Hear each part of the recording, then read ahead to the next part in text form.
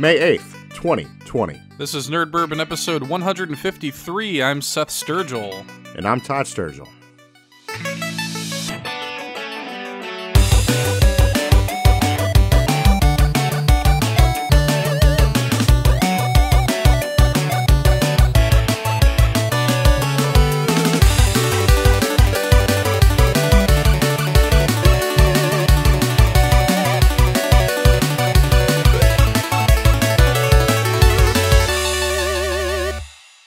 Todd. It's another fun filled week. Is it fun? Another fun filled week of fighting off the dreaded coronavirus. and uh, more so than that, though, depression. Fighting off depression. That's all I have. It's the never ending battle. I mean, this uh, this whole COVID shit doesn't help the the, the problem. The the never ending battle to which the only escape is in our dreams, Todd. See. I don't I don't dream. Really? I don't dream. Like you well, I mean you do dream, you just don't remember your dream. I mean, I don't. I, I never remember anything, so I just go with I don't dream. When's the last time you remember having a dream? Uh, like dead ass, probably like eight years ago. Oh god, you remember what it was? No. Uh. Again, the only dream that that I remember was like it's one where my face melts off. That's about it. Okay. It was. It's not like a disturbing melt off. It's more of like just my facial features melt off. I was uh, that's we- that's even more disturbing I think than your physical flesh melting off. That to me sounds more disturbing. No, it's not that disturbing. I mean, the actual flesh doesn't melt off, just the facial features. That sounds fucking worse. Yeah. Anyway, uh, yeah, uh, let- let's go uh, up from there. Corona update, Todd. Where am I now in the Corona update? Oh yes, yes. I am now wearing a mask when I work. Yeah, I'm gonna have to join that train pretty soon too. Now, here's the deal. I I'm not gonna say this. I'm not gonna say where I work, so I'm not getting. I don't get in trouble here. But I work overnight, so they're, I'm gonna be honest. We're a little more lenient on that shit because I'm gonna be honest. I can't work technically really work with it because I can't breathe in it worth shit. But obviously, I start early enough to where I have to. So like the moment the store closes, that shit is off. You feel me? Well, as long as you're not putting like other people in danger and shit like that, that's really what it's about, right? Shit, they putting me in danger. You're essential. You're a hero. I, I, I genu- Can I be honest with you? I genuinely, I've been thanked, and I thought it was hilarious. You're like, like, I mean, I mean, I'm getting paid. Like, I'm just doing my job, honestly. Like, don't. There's no need to thank me. Uh, uh, after this shit's over with, you're gonna go back to telling me to go fuck myself. right. And, and again, you're you're not like a like a fucking nurse or something. It's those are the people that need to get thanked. Regardless, though, I uh, it, it's you know it, it is just funny because I the quarantine, I guess, or whatever, is currently scheduled to be lifted where I live on the fifteenth. I think mine's like the end of the month. Yeah, we'll see. I mean, I wouldn't be shocked if it gets extended again. But well, here's my thing. now- I wouldn't be. Sh- I wouldn't be shocked if it gets extended. And I also, again, it's not gonna be a full opening. It's just gonna be. No, no, no, no. uh, I know for a fact there. I think my shit's in phases, essentially. Yeah, everybody is basically Yeah. like uh Texas recently reopened on May 1st in phases though. Like you can go inside of a restaurant but it's only like 25% capacity or something like that. It's very limited I saw. I saw, I saw some shit about like uh, people um having to like serve themselves in a way. Yep. To where like yeah, they'll like put it on a serving tray and then they'll walk off and you got to grab your own shit. Which here's can I be honest with you? There's some of this shit I'm like keep it, Just keep it. keep the human interaction away from me. Can I be honest with you? I it, eh, this the realization is like God, I hate people. Just keep, keep, keep me away from them. Fuck. Like con dude, the contactless delivery. I just look. It's like just leave it on the is table. nice. Leave it on the table. I just look at them through the window. you stare at them through the window that looks out to your front porch. leave it on the table and walk away. It's like no bullshit small talk. Just leave my food and be on your way. You know what it reminds me of? It reminds me of when I I was telling Anastasia because they have the they have those Ubers where you can pay a little you can pay like an extra like five dollars Oh, and they don't For, like-. Yeah for like no talking. I'm like, dude, that's worth it to me. That's so fucking worth it. I I hate especially if it's like a long Uber ride. I fucking hate the small talk. I just respect anyone that doesn't even try to talk to you on that and that shit. Like, Oh no, I love it. other than like, I, I again, I'm not gonna say I hate all small talk, but it's just like, come on. No, I, I hate pretty much all small talk. Like the second we start talking about the weather, I'm like, what are we doing? the the, the one that again, uh, shit. I wish we could have paid that motherfucker in uh, San Antonio to shut. the fuck up. Holy moly. We were talking about that recently. We were kind of reminiscing on that recently. Holy shit. I again, me and Anastasia were just dead ass like keeping each other sane in that fucking group chat. He was one of the drivers that was driving our shuttle to and from the convention and the hotel. Oh my I, god. I know more about that man's life than I should. More than more than anybody wants to know. It was so bad. I, I was just sitting there. You guys, you guys avoided it all. At least you guys had each other. I was alone in that battle. Right? you, you were just you were just taking it, bro, blow by blow. I was the social tank, the fucking social tank. It was rough. I was taking some. Uh, I was taking some heavy DPS Dude, it was in that so battle. bad. That was rough, bro. And like you guys just sitting there steady in the group in the Facebook group chat, talking mad shit. Oh, mad shit, mad sh- Like, dude, Anastasia was like ready to get out and walk.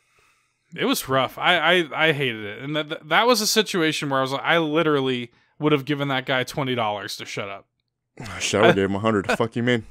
I'd be like, dude, dude, here's twenty dollars. You just stop talking. Anyway, Todd, what have you been playing?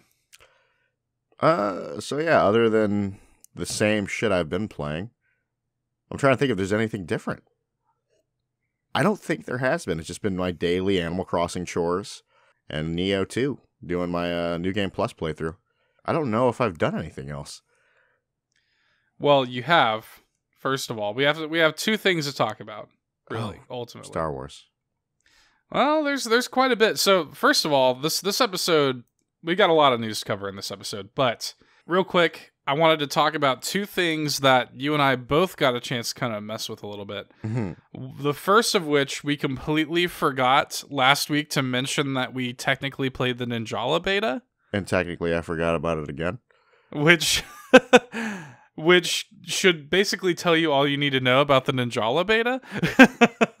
Well, it wasn't good. I didn't like it. I I was and what sucks is I was really looking forward to this game. But the beta first of all, the beta was fucking It was a hot mess. Hot garbage. Just servers, server meltage. absolutely busted. When I did get in, when like when I finally was able to get in after the the time because you you know the beta was only up for hour an hour Mhm. increment at a time. So by the time I was finally fucking up and I was finally able to get in, I only had like 15 minutes anyway. I was only able to play like two or three games. I didn't even shit, I didn't even get that lucky. I was able to do the tutorial and that was it. Yeah, and this game is so. I I understand that the game is chiefly designed for kids.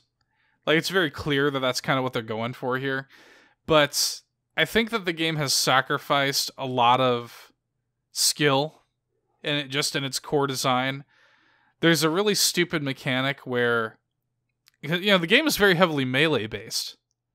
Yeah, that's that's basically the main shit. Like you're you're hitting each other. And if you parry an attack, you and your opponent literally go into like a rock paper scissors kind of thing. hmm And that determines who actually gets the attack off.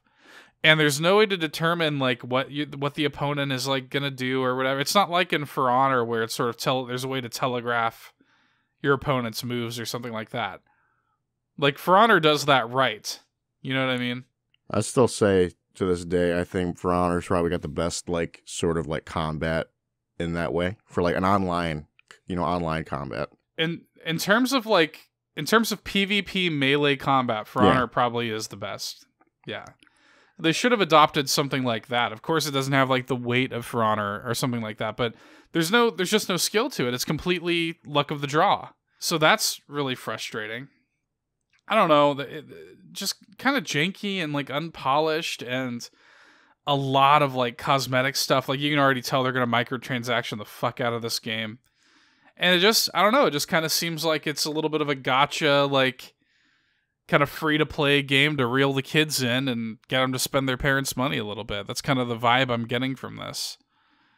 And it just, it's kind of a bummer for me because I was really kind of, I was feeling the art style, you know. I, I was like, this kind of reminds me of Splatoon a little bit, but kind of as a melee, like PvP game. And I don't know, I was, I was completely let down by this beta who knows? Maybe the full game will uh, will be different, but I don't really have an interest in playing it at this point. Yeah, it's kind of kind of kind of kind of died. Kind of died with the servers. Yeah, I mean, it comes out at the end of the month, and I mean, quite frankly, there's a lot of games that I'm interested in coming out this month, and hmm Ninjala is kind of at the bottom of that list. I, I really don't care. Another game that we both played of is Streets of Rage 4. Oh yeah, that did that that that happened. That that absolutely happened. And Lord knows that was fun as fuck. The the game's awesome. We we played through now. I will I will say I will go ahead and say. Uh, we we definitely had to crank that difficulty down.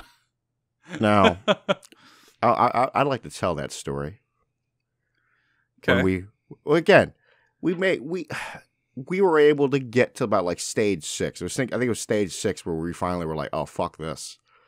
Yeah, we we got a good ways. There there are twelve stages in the game, and I mean, really So, more like 11 and a half. So so uh, we got to the halfway point essentially Right. in the in the game, and it's just shit took a shit took a dark turn with the with the difficulty there, yeah, there was there's definitely a huge difficulty spike there on stage six. and it was that was an ass. There, there was some ass beatings we didn't sign up for. yeah. Well, we get to the point, like we we got all the way up to like the final boss, and like I, I think you were already dead at that point, and I was like Yeah. sitting there trying to fucking fend him off by myself with like one life. Mm-hmm. That's what really kills it. I think is the fact that the amount of lives that uh normal gives you, it's only what two? uh, well, it's technically I think technically three, Yeah, it's I think- two respawns and then your Right. final. Yeah, yeah. right? Like your original life and two respawns essentially. And there are ways, you know, if you build up your score enough, there are ways to get additional lives, but it's kind of hard to do, especially when you're playing in co-op, because it's like a double-edged sword. Because when you're playing in co-op, the the combo potential is obviously a lot greater because you share the same combo, but the potential for that combo to break is a lot greater too, because the other person might get hit or whatever. And Yeah. you know, Streets of Rage doesn't have any sort of guard or a block button or Mhm. anything like that. Oh, Lord knows so- some enemies do though. oh God, there are enemies that'll just sit there and just fucking tank your entire. We're combo. just sitting there, both of us, just wailing on the same motherfucker, and it's just like, lol, fuck you. Yeah. So, but anyway, we ended up, you know, we did end up throwing down the difficulty, and we did. Yeah. We replayed and we got to stage six again real quick. And I'll tell you right now, it was like the best shit. Is like I I I. I, I, I laugh thinking about it is when we walked into the boss room. I'm like, "We're back, bitch!" Beat That- that, was a good ass. feeling. that was a really good feeling. I'm not. Dude, it was. I, I, we got primal in that shit. Like some, we just wanted some vengeance, primal vengeance. Yeah. But so just to talk about just talking about the game uh, a little bit because I really I really did like it a lot. I had a really fun time playing it. It's a very arcadey experience. Mm-hmm. I don't know that I could recommend the game to most people at $25, which is the price of it, just because I think a lot of people are just going to blaze through it real quick and not really touch it again. It's not really that kind of game. It's it's again, it's an arcade experience. It's very focused on like replay value. Like they want you to play through that game story a ton of times, you know, just as if you're at an arcade cabinet. There- There's like a progression system where you can unlock various like pixel characters from the previous Streets of Rage games. I think the final reward is actually the uh, soundtrack from the original game, which is cool. Uh, so there, there's a little bit of a carrot on a stick there, and, and they definitely want you to, to replay the game. But I, I think for most people, they're just going to blaze through it and never touch it again, which is unfortunate because it's really fun. The Mhm. combat, though, is Oh sublime. God. It's so good. Like it is bar none the best like 2D brawler kind of combat system that I've played. It's so fun. I'm not like an aficionado or anything of this genre, but I've played, you know, several games in this genre and I've, and I've enjoyed Same. them.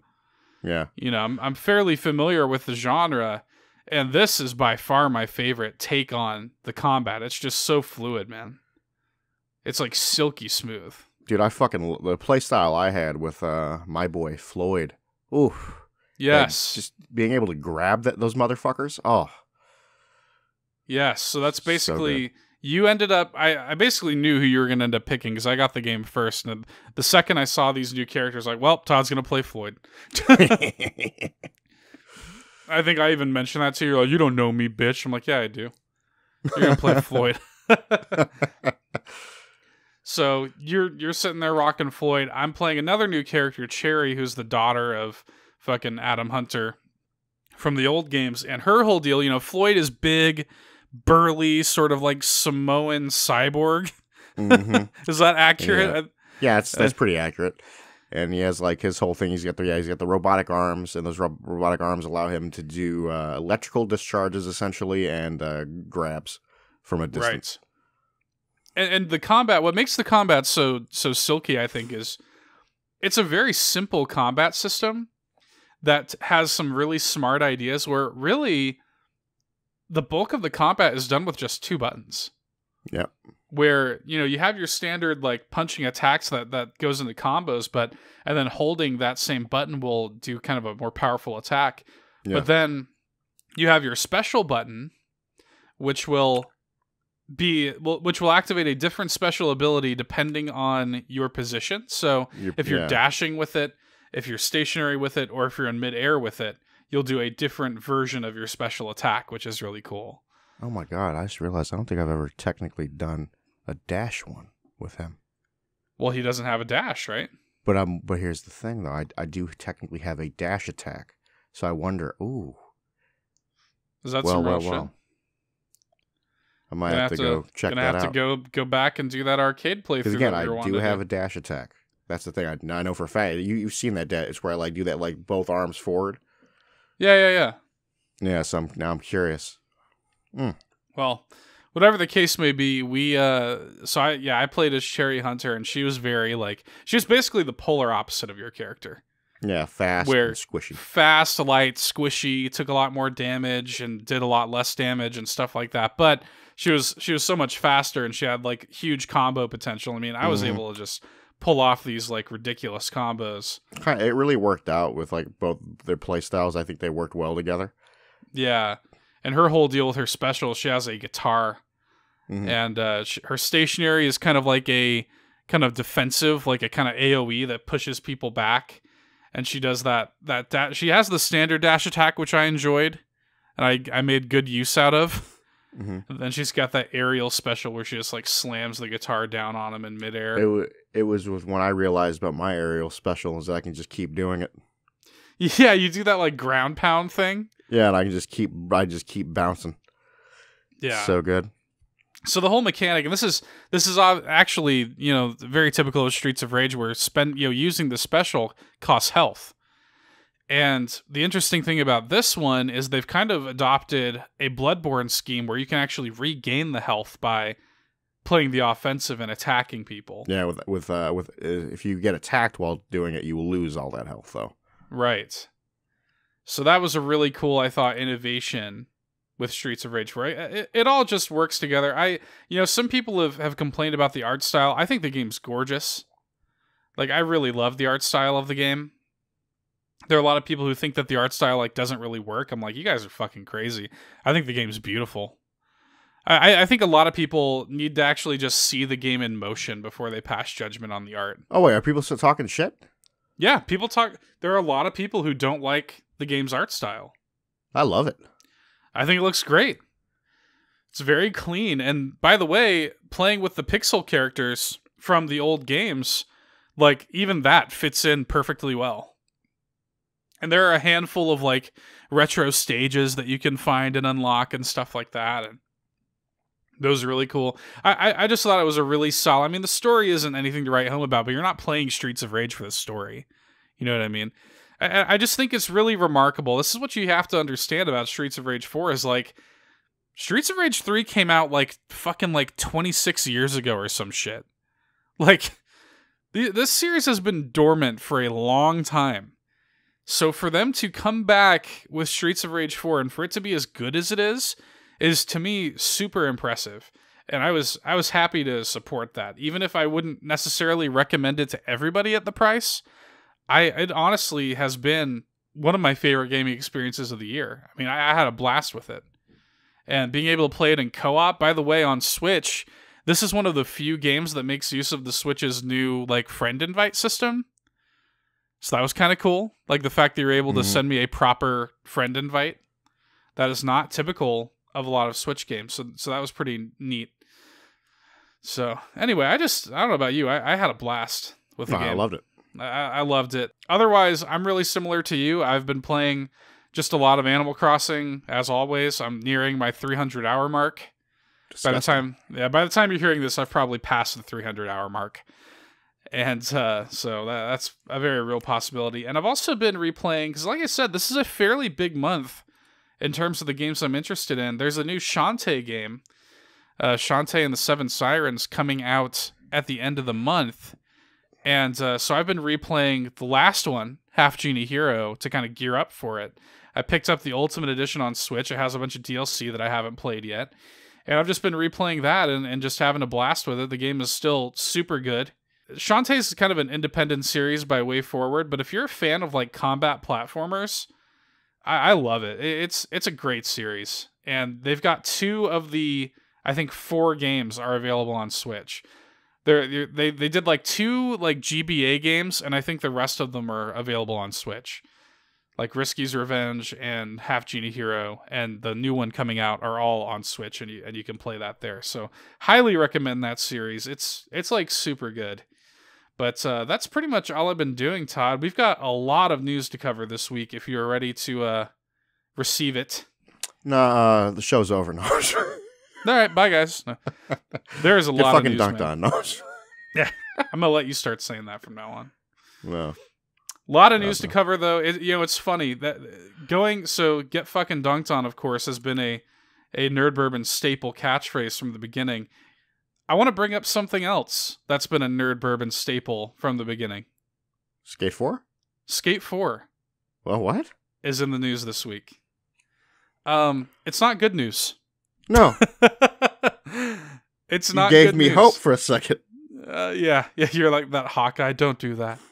Don't give me hope. Bastards. You, ba- I'm reading it. You bastards. It's not good news. The skateboarder, are you familiar with Jason Dill? He's a Yes. skateboarder, pro Yeah. skater. Uh, he was on, I think, a podcast, a like a, a like skateboarding podcast. Uh, he was on this week, and he revealed a couple of things. First of all, he kind of just casually, like, revealed that there is going to be a new Tony Hawk game, which is coming this year, which is like the worst kept secret of 2020. Yeah. Like he actually was just like he just casually he's just like uh, Tony Hawk's putting out another game coming out this year because I guess he's going to be in it. But uh, on top of that, he revealed that EA actually reached out to him asking for his participation in a potential mobile version of Skate 3 of all things. So I've got a quote from him here. He says, quote, I got a call from the EA people about 10 months ago and they said, "Hey, we want to talk about the Skate games." This woman emailed me and she said basically, "Hey Jason, we want to do a mobile version of Skate 3." And I wrote back and I said, "What else?" She wrote back, "No, that's it." So I wrote back and I said, "Look, no big deal. No one wants your stupid mobile version of Skate 3. Make Skate fucking 4 already." and he he you know he- was basically saying like just do it just make the game and participate again you can't level it to the same numbers you get on other games you do skate 4 for a cultural thing that pays you back later and that's how corporations can work if they play their cards right My God. Skate 4 for the culture is the realest shit I've ever heard. Yes. So EA responded to him saying that they have no plans to pursue Skate 4. These bastards. To which he replied with the most perfect response I think possible. He goes, We'll have a lot of luck on Need for Speed 29. I won't be in your stupid mobile game. God bless. God bless. I have nothing but respect. But skate for the culture. Yeah. That's that's basically it. It's like you do it for the fans. You don't do it expecting to make a ton of Mhm. money, but you know what? EA is not about I mean EA is a company obviously they're they're in it to make money, but there is something to be said about making the Taking cultural play. Yeah, Take that bite and and this is the sort of thing that as he said, this is the sort of thing that can pay you back later. Mm-hmm. this this is you got to ask yourself what's more important is it money or is it mind share is it respect respect or money what's more important Respect brings the money. So closing out the conversation dill says quote i think the skate team at ea has done themselves a big disservice by not actually trying i don't want to be on some mobile fucking gaming system Real shit. I hate mobile gaming. So yeah, that that's essentially EA's like, yeah, we're not gonna do Skate Four properly, but we're kind of interested in bringing Skate Three to mobile phones. Like what? Fuck you. Literally nobody wants that. And every fucking EA related stream ever is just like inundated with Skate Four comments. So Skate 4 has been a thing for like, if you're in any, you'd be watching a fucking Nintendo like stream. Yeah. so people are still saying Skate fucking 4. I'm not saying that it would translate immediately to sales. No.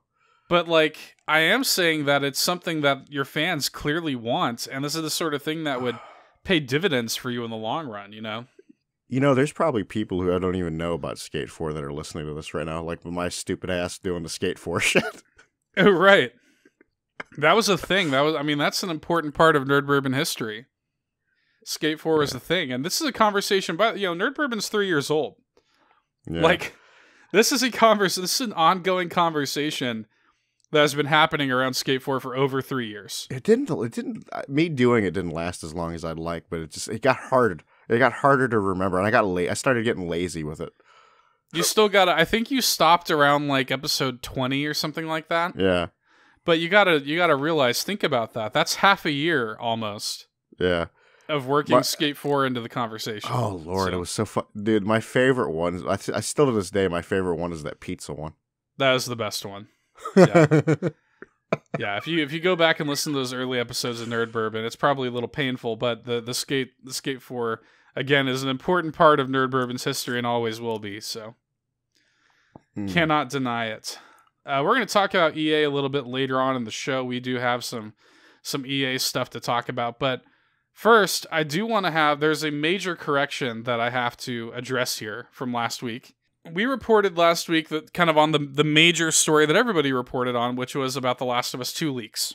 Last week on the show, it was reported that a disgruntled uh, ex Naughty Dog employee was responsible for leaking major plot details and story cutscenes from The Last of Us Part 2 as an act of protest against not being paid properly.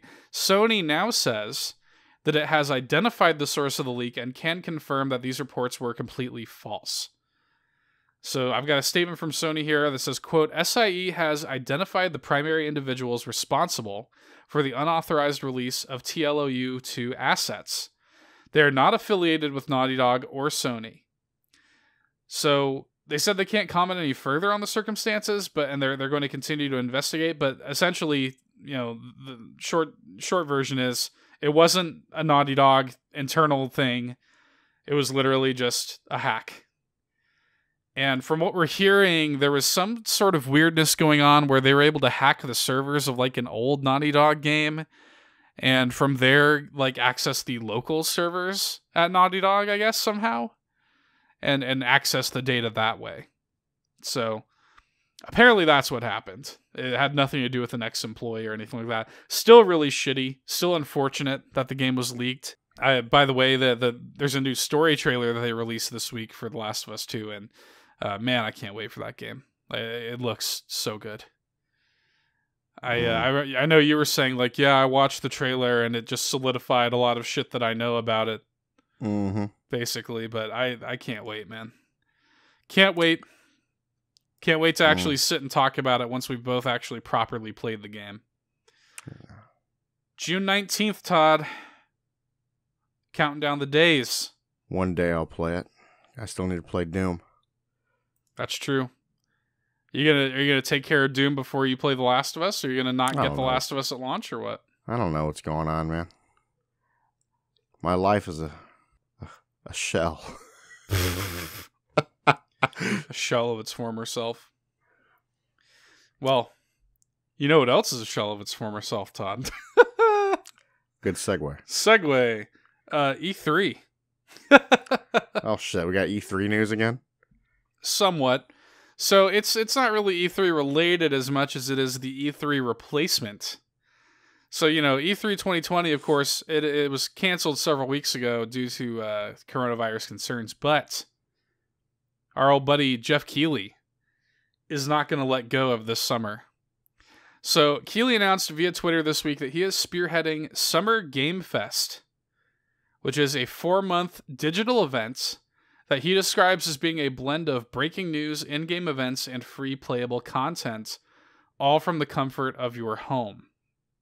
Uh, Summer Game Fest will run from May to August and already has secured commitments from dozens of major developers and publishers, including 2K, Activision, CD Projekt Red, Blizzard, EA, Microsoft, Sony, Square Enix, Valve, WB, and more.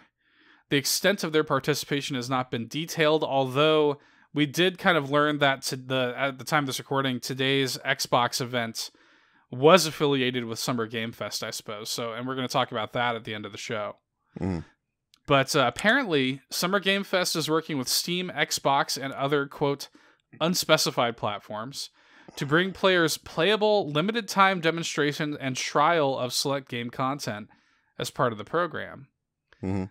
This includes the Steam Game Festival Summer Edition that Valve and Keighley organized, which will run from June 9th through 14th, which is the same week that E E3 2020 was previously scheduled to take place. Now, this is really interesting because essentially Geoff Keighley is like, E3 is not happening. We're going to go for the whole summer, Summer Game Fest. We're going to have these little kind of mini digital events. And apparently, they're going to make demos available of the upcoming games. I mean, we haven't seen that manifested yet. We haven't seen, I mean, we had the little Xbox presentation that we'll talk about later. And, and I guess that was affiliated with Summer Game Fest. But otherwise, we haven't really seen. Uh, it seems like the best is yet to come with this. But my question for you, Todd, is: Is this is this an adequate replacement for E3 this year? I think so. You think this fills that E3 gap? Mm-hmm. It did feel a little E3 ish when we were watching the Xbox presentation. Oh, it did. Because there was moments of it being shit. That's true. we'll get into that. but uh, I don't know. This is a really, I think, interesting idea. I am looking forward to seeing more. I will. I like the idea of the demos if that actually you know works out. Bringing it to the masses. Yeah, I think that actually is something that they've done in the past. Uh, I think it was only on Steam though. Mm-hmm. I think they did like a cross promotion with the Game Awards on Steam where it was like, hey, and you can play a demo for this game right now or whatever. It'll be really interesting to see if this works well. Uh, I think it could, you know, truly be the final nail in E3's coffin. I, I if, if this takes off and this works as well as Geoff Keighley thinks it's going to, coupled with all the other various digital events that these publishers are going to be doing, I just don't see how E3 is going to be viable. Everyone just pick up their violins, start playing. Yeah. I, I just don't see how E3 is viable in 2021 if if this thing works. So anyway, uh, we'll see how it all goes. He did during the live stream that we both watched today. He was sort of detailing the plans a little bit for Summer Game Fest and some of the things happening. It sounds like he's going to be announcing more like events in May, but you know, looking forward to June and July. I, I know Xbox is going to be doing another presentation where they cover some some of their first party titles. Uh, So it, it sounds like we're going to be getting some more news going forward. I think he even said that next Tuesday there's going to be a new game announcement. So of course we'll be covering that on the show next week, whatever that ends up being. So it, it's interesting, and uh, and we'll talk about that Xbox presentation a little bit. But interesting idea. Credit to Keighley. Keighley is definitely a hardworking industry vet. You got to give him credit where credit's due. He he is an innovative dude. And fast thinking, it's not as if he like prepared, you know, this in advance. I mean, he must have he must have really kind of put this together at the last minute.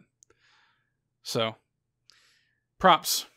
Props to him. Anyway, uh moving along, Platinum Games has announced that physical copies of the Wonderful 101 remastered would be delayed due to production issues brought on by COVID 19. It's just an excuse. No, I'm just playing. yeah, it's that, that, that catch all excuse. No. Uh, the game is still on track for a May 19th release digitally, but the physical release of the game will now be taking place on June 30th. By the way, I'm just, this is off topic, but I do this is kind of a dick dick move. But you do know it's like me and uh me me and a buddy from work have joked about that. Is like anybody that's dying from anything right now, from complications from the corona. right. there there was a little bit of controversy about that. Is like if, if anybody dies of anything, they're like add it to the death toll, Well, because yeah, 'cause they get paid. They get paid for every death. Died from uh, natural causes, pumping up those caused by numbers. compli- co- caused by the complication. anyway, Kickstarter backers of the Wonderful 101's physical version are getting a particularly shitty deal because Platinum announced to its backers that production of the Kickstarter exclusive physical rewards, so people who got like the higher tiers that are getting like physical rewards along with their copies, they're going to be getting their game even later. It's not going to arrive until after its late June general release date. So to make up for it, these backers will be receiving free Steam codes for a digital copy of the game that they can play when digital backers get their early access codes on May 7th, which is 12 days before the general release date. May 7th, by the way, is the date that we're recording right now. I'm still waiting on my code. I still don't have a code. So, jury's out on when those codes are going to get out. We'll see. But uh, but yeah, if you if you backed the Wonderful 101 remastered at a high dollar tier, you're probably pretty pissed right now. I'm glad I didn't do it. I backed it at the standard, and I'm just like waiting on my code. there you go. By the way, they they announced they were like, yeah, the backers uh, of the digital version are going to get their codes in April, and then April kind of came and went, and we're like, all right, and now it's May seventh, so it's uh, whatever. Anyway, moving along, Todd. This week did see Star Wars Day, May the fourth. May the fourth be with you. And uh, we got a few little tidbits of Star Wars related video game announcements. Mm. Oh yes. So let's talk about some of this. I'll save the best for last, and I'll save the worst for first. For starters, TT Games revealed the key art for LEGO Skywalker Saga, although somehow there is still no release date for the game. This is fucking bullshit. This annoys me to no end, man. Like, the fact that they didn't have, they just showed us the box art. Like, that's cool and all, but there's no new trailer, there's no release date. You get nothing, boy. There's just it's like nothing. It just kind of annoys me. I'm frankly you know, you know, the more you want something, the more you're never going to get that's true. It certainly seems that way. But it, it it just I think they announced the game last year at E3, if not earlier than that. And all we have after all this time is some box art. I honestly, I would have predicted if you had asked me like 2 months ago, I would have been like, yeah, they're probably going to have the game ready to drop on May the 4th. I thought May the 4th was going to be the release date. But no, Adorable. nothing. Absolutely adorable. We have not seen hide nor hair of the release date for this. I mean, I'm excited for the game. That's what frustrates me the most about it. You know the last time I actually played a Lego game What's that? was probably like the original like Lego Star Wars. It's been that long. Yeah. I played Lego The Force Awakens, and I think that was the last one I played. I'm I, telling you, I, I you know here's the thing. I just I liked the original Lego Star Wars. I'm just like, eh. I have never really cared for them after that. Like I just like never had any interest. I've played a lot of Lego games, but I have I not you've played, them all. essentially. Oh, you've not played them all? No, no, no. No, they've got some weird shit. They have like Lego Incredibles. Is is that a thing? That is a thing. They've got Lego like they they've done they've done some like weird kind of original games. Like I think the most recent one is Lego DC Supervillains Mm. or something like that. There's like Lego Ninjago and Lego Jurassic Park and they, I mean they've done a ton of games. The main ones I've played was yeah, Star Wars. I played the Harry Potter ones. I played Indiana Jones. Um I think I might have dabbled in Lego Pirates of the Caribbean. What what really kind of burned me on the Lego games is when they moved away from the pantomime and they started actually including like voice clips from the movies. Yeah, that's it. Kind of like I'm. I wasn't a fan of that. Whenever I I would see like gameplay of it. That kind of killed it for me because I, I I thought it was actually pretty funny. Well, it, it had its own humor to it. You know, it was funny. Uh, It was, yeah. it was funny with that.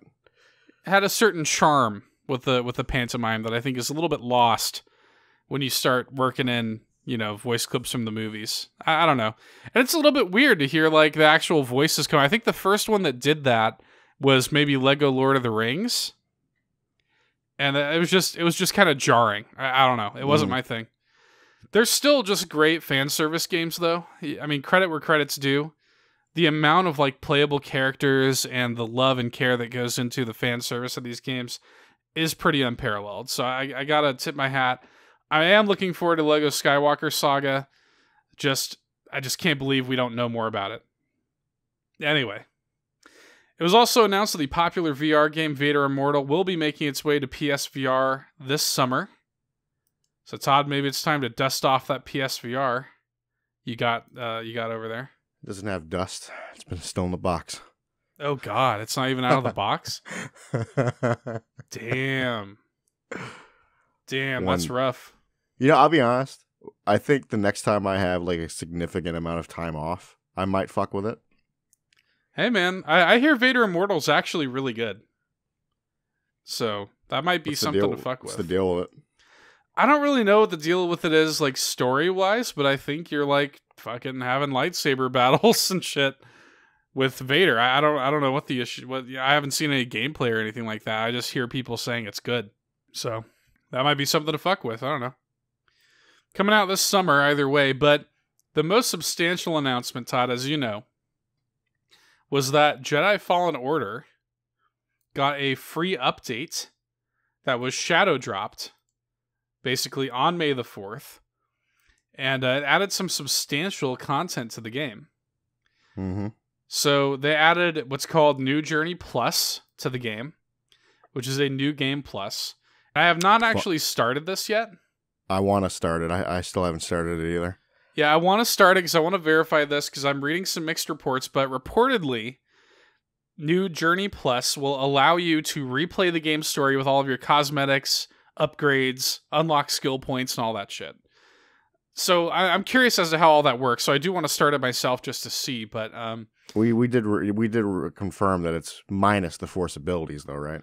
I'm sure you're still going to unlock the force abilities as the game progresses, just because it would kind of break the game if you didn't. Oh yeah, because at that point you'd be doing every you can do everything from the get go.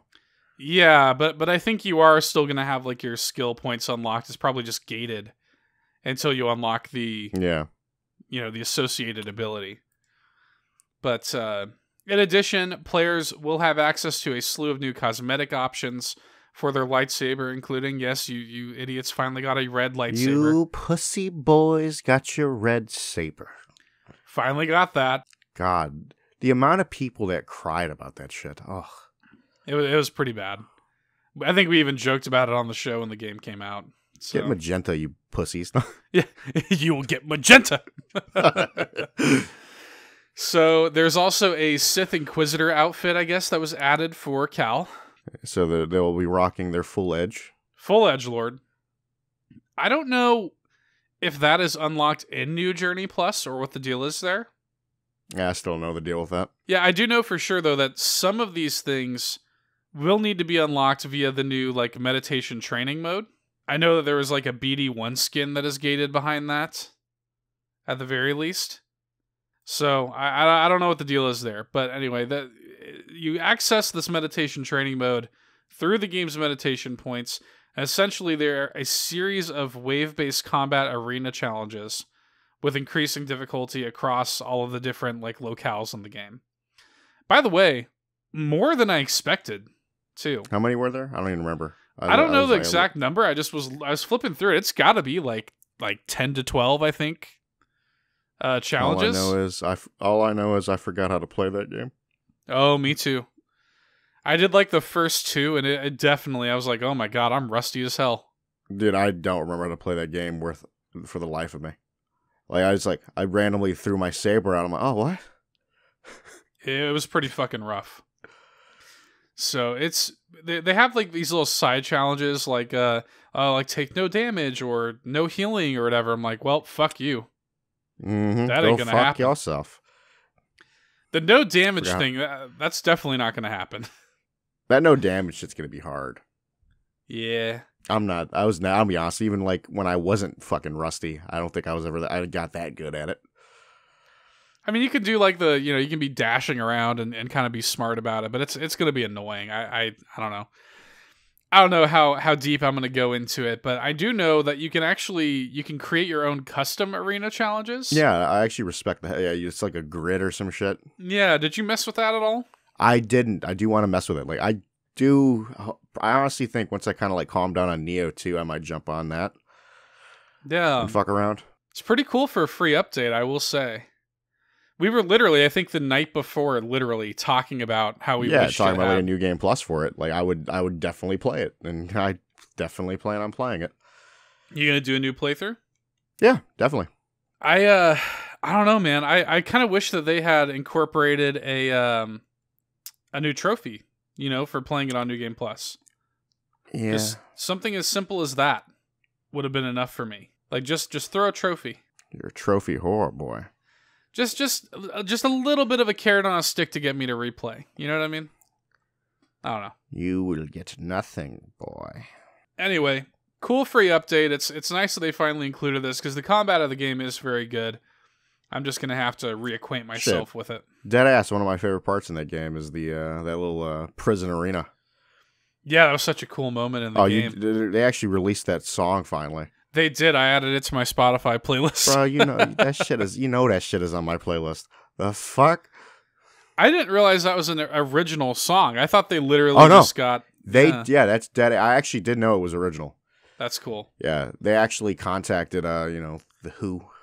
Yeah, it's funny. I was talking about it to because I was I was playing the song, and she's like, "What the fuck is that?" You know. Because for those that don't know, the Hu is like a, it's like Mongolian like throat singing, yeah, but it's it's also got like you know like rock guitar and stuff like that playing with it. it's fucking good. I don't. I just shit. I like it, but moreover, it sounds like Star Wars alien ass music, right? mm-hmm. So that was kind of the that was kind of the whole thing is they worked that into a couple of moments in in Jedi Fallen Order, and it just totally worked. Mm-hmm. So, it, but when I was describing it to her, she's like, "The Who." Like, like the actual, like the band, the Who, you know. That's who. That's who she thought I was talking about. She's like, "This is weird," you know.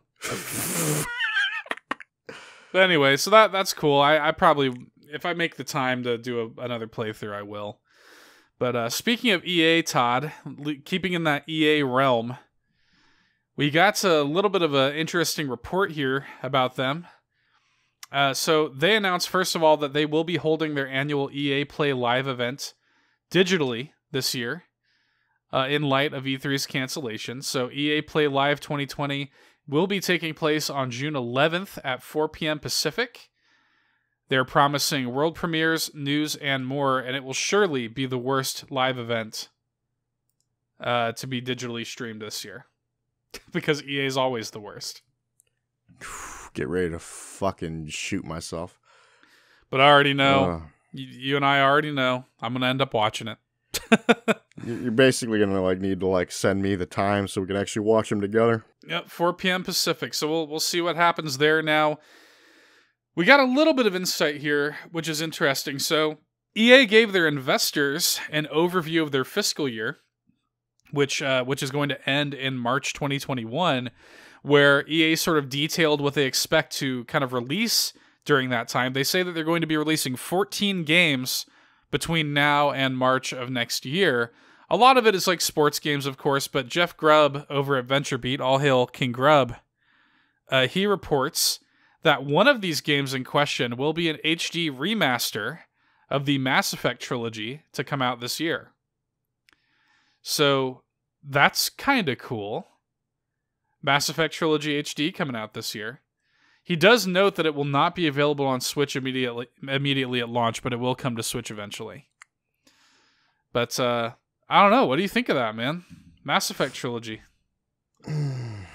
Are you going to do Garrus dirty again? My time with those games is past. Really? You don't you couldn't see yourself actually giving it a real shot? Like going back No. and giving it a real shot? My time with those games has passed. My journey is at an end. they all had an end. a horrible, gruesome end. I probably have like the worst fucking ending. A horrible alien drone related end. No, Garrus didn't deserve no, no, Gar- that. Garrus did not deserve that. You know that that was the one time that you paid for your sins. That was the My- one time that you paid for your speedrun sins. you deserved what you got, boy. Some deaths were not bad. I don't mind grunts. How did Grunt die? Uh, he died taking down a shit ton of motherfuckers. Okay, so they The gave him like a like a warrior. But but no, but you could- you're actually able to talk to him at the uh, the uh talk to him as he's dying. He's like, "Good fight, Shepard. Good fight." so they gave him like a warrior's. It wasn't like I'm like-. Well, that, that's, that's the thing. That was like his whole character. He just wanted a good fight. I'm like, "Ah, I feel this. I'm I like that death. I can tell that story still pretty well. How they all died. it's all burned no. into your memory. I don't know, Legion man. died like a fucking dumbass, but yeah. I don't know, man. Th- th- This is one of those like games that I'm surprised. Frankly, this trilogy, HD trilogy, should have come out like years ago. Yeah. Especially like after Andromeda was such a garbage fire. Like, What's that? No, I'm just. yeah, I have no recollection of that game. after that game sort of came and went and basically single-handedly killed the franchise. Dude, that game was a drop in the bucket. I, I honestly forgot about it until you just mentioned Andromeda. I was like, it's what? weird, man. It's fucking weird. And That uh, entire that entire situation with that game was weird because I think we were even you you were calling it like from the get go. It's like something's wrong with this game. Oh, I knew. I knew years before it came out that something was wrong. They talked about it way too early. We saw nothing of it. And every time they would talk about it, every E3, it's like, all right, we're finally going to get the, the veil lifted on Mass Effect Andromeda. And there was just nothing. And I was just like, I'm telling you guys, something is wrong with this game. There's a reason. These these companies are not stupid. They they know when to not show you something. And it's because something's fucked up. There are only two reasons why they wouldn't show you something. It's because they have nothing to show, or what they do have to show is fucked up. And with Mass Effect, it was fucked up. So, anyway, that game came and went. It would have been the perfect time to be like, hey, no, remember, Mass Effect is good. Here's here's the trilogy, you know? So I, I don't know why they didn't just release that immediately after, but sounds like they're going to now, which is cool. Drum up a little bit of interest in the in the series, maybe try to bring it back and make it not awful. I don't know. We'll we'll see. Um, I don't have high hopes, but I will certainly take a trilogy remaster because I love those games and I would love to replay them. Uh, I, I you know that original Mass Effect trilogy is just is so good, man. Mass Effect one, two, and three. uh, That, that's a fantastic trilogy from a bygone era. Kind of the last real hurrah, I think, for Bioware. I, I think that's the kind of the, the last remnants of the good Bioware. You know. Anyway, I'll be playing it when it comes out. Moving along, Todd. Mortal Kombat 11. It's getting a paid story expansion. Did you hear about this? I did. So, Now, do I care? No. well, you know, neither one of us has played Mortal Kombat 11, so I think just innately we don't care, but I do think it sounds pretty cool. It's it's actually a first for a NetherRealm game. They've never done a story DLC expansion like this before. So pretty cool. Uh, it's called Mortal Kombat 11 Aftermath. It will feature new story content, characters, and stages in one enormous package. So the story of Aftermath actually picks up after the events of the main game. And what's kind of cool about it is they're actually kind of primarily following the game's DLC characters from both of the combat packs. Okay. So that was kind of a complaint that a lot of people had. Like, well, this is dumb. The DLC characters are barely in the story, you know? So now they're like, okay, well, we have this story expansion that properly fleshes them out, and it makes sense that they're in the game. So we're gonna we're gonna have this, DLC is going to have uh, kind of following characters from both of them. It's got Shang Tsung, Night Wolf, Fujin, Sheeva, and Sindel which kind of works those characters properly into the game's overarching story. I didn't realize. I didn't even realize they brought the. Uh, was it Fujin? I didn't even realize they brought him into the game. yeah, yeah. So working them and few, uh, I think it's. I think I want to say. I want to say Fujin and Sindel are both from Combat Pass Two, and uh, another one that they've added with Combat Pass Two, of course, is RoboCop, which is cool and they're actually complete with uh, Frank Welker doing the voice and everything. They they straight up have RoboCop coming in. So anyway, uh, two confirmed returning stages.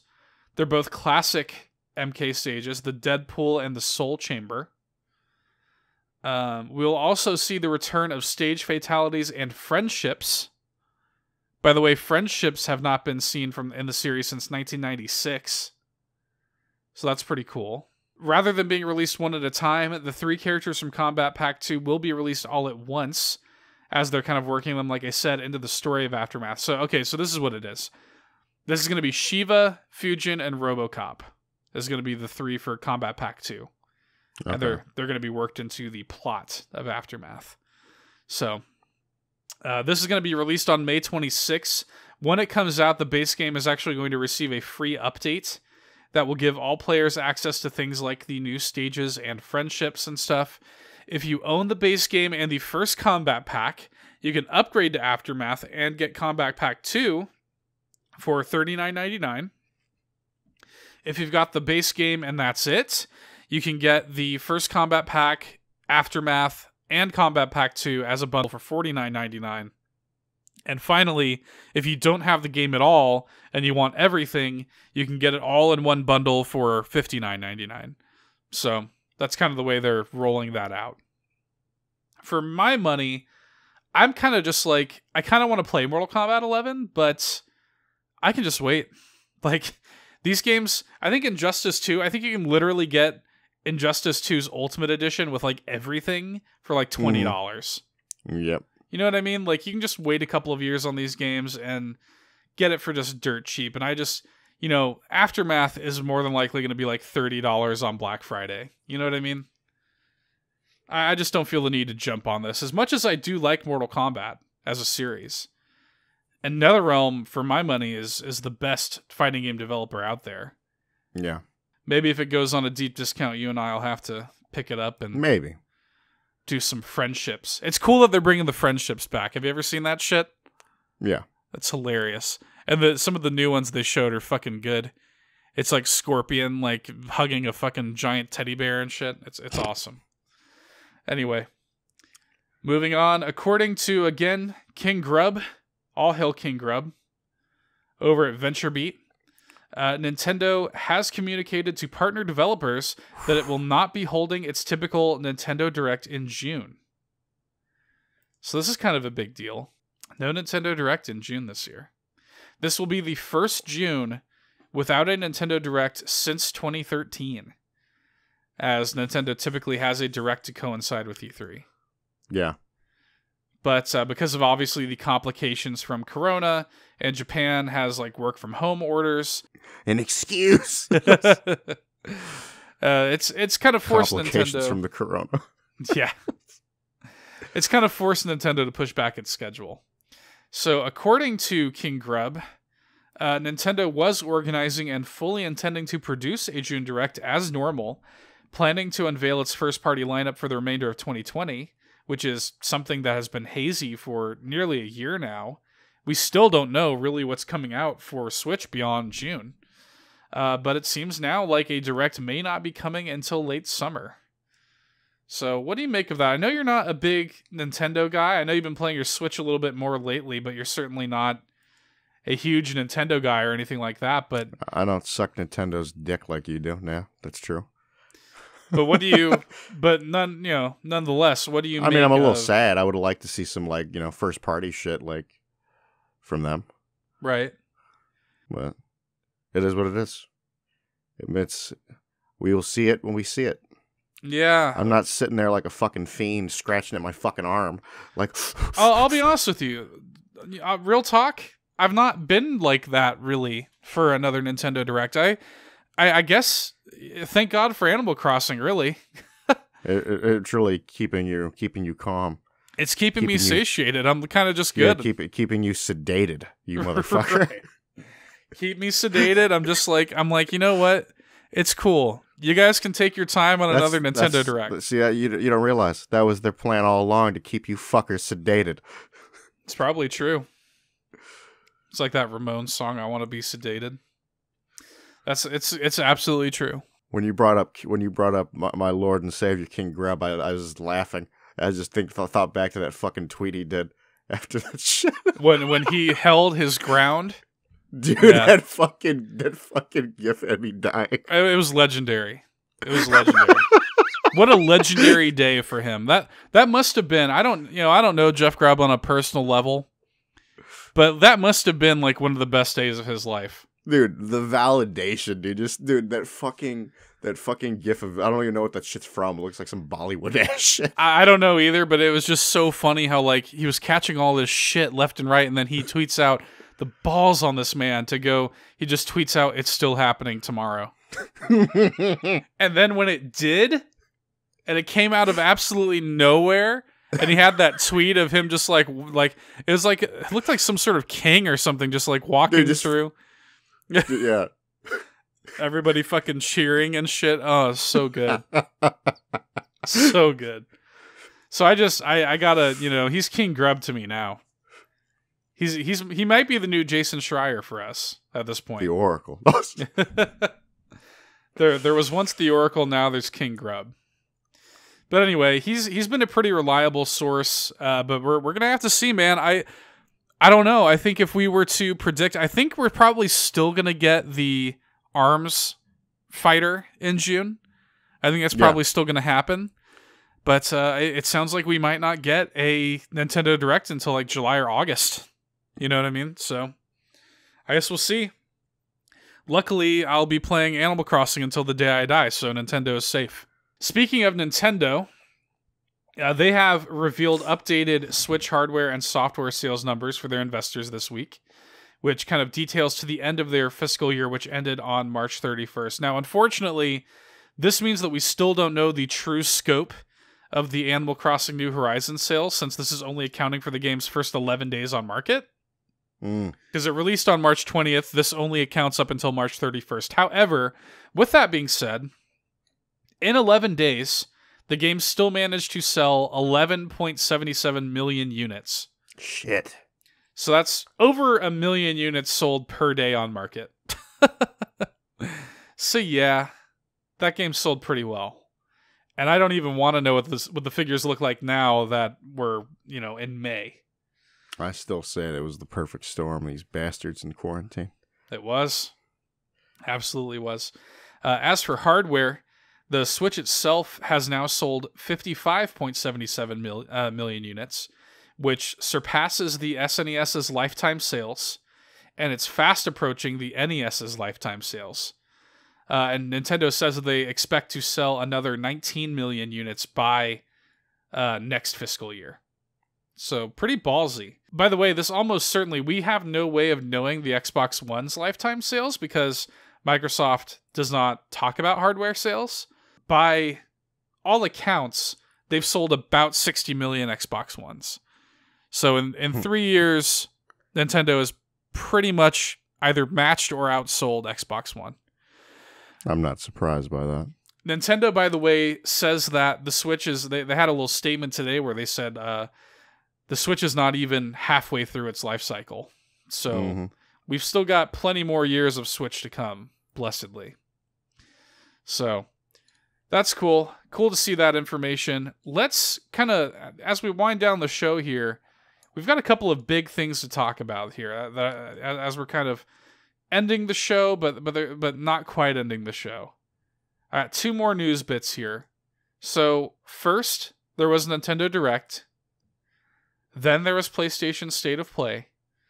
And now there's Xbox 2020. In a blog post on Xbox.com, Microsoft communicated a few details of their strategy moving forward with Xbox Series X. Basically, they reiterated that the Series X and Halo Infinite as a launch title are still planned to release this holiday, but they also announced Xbox 2020, which essentially is a monthly Xbox news drop video that will focus on different things each month throughout the rest of the year. So the video that we watched today was technically the first Xbox 2020.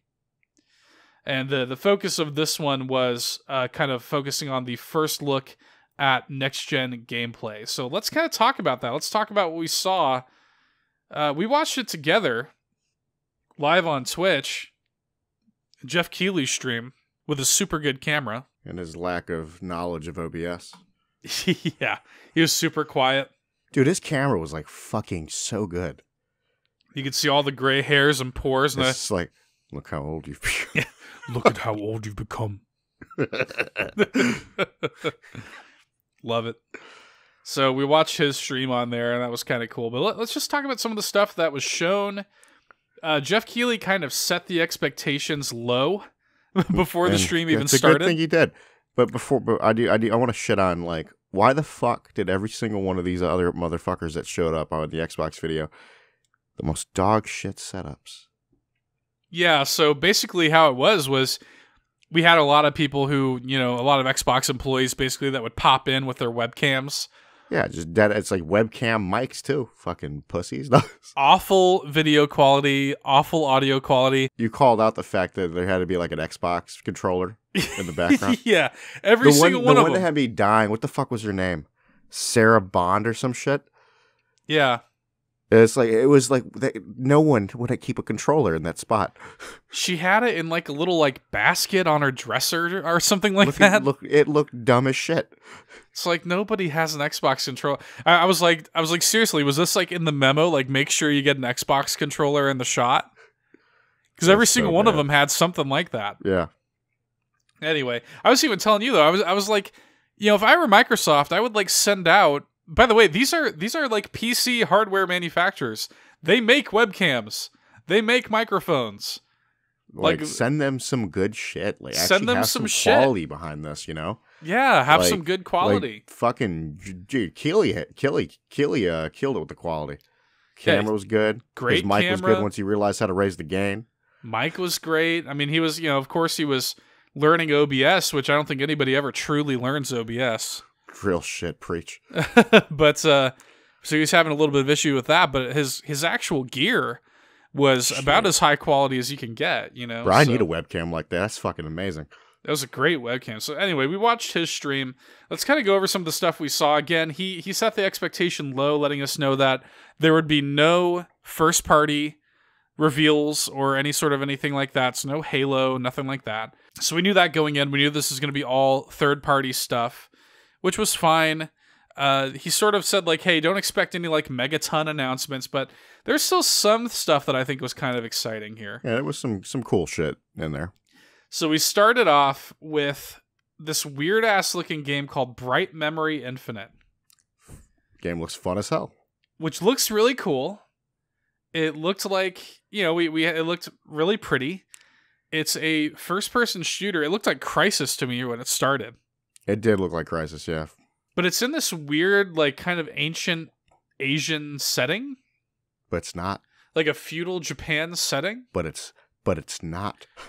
yeah, and then we saw like uh, there, there's like a a wrist grappling hook that so the player the has. Cyber, there's like a cyborg, cybernetic looking katana. The katana didn't look like a normal katana. It was like this like fucking cyber katana in a weird way and he was fighting like people that looked like they were like Spartans with like sword and shields. Yeah, and yeah. There was a moment when there was like a fucking like race car that like appeared. It's like what the fuck? It's like, what is this game? Then you find out it's only it's made by like one dude. You're like, oh shit. Yeah, and it says like, yeah, this is being made by one guy. I was like, whoa, this this is an indie game? like, excuse me. So we don't know much about it. No release date or anything like that. It's it's still just in development footage. But damn, I mean, it looked looked cool. cool. Yeah, look Worst cool title, worst title you Worst could probably ever all. have. But bright memory infinite. Like, what the fuck does that even mean?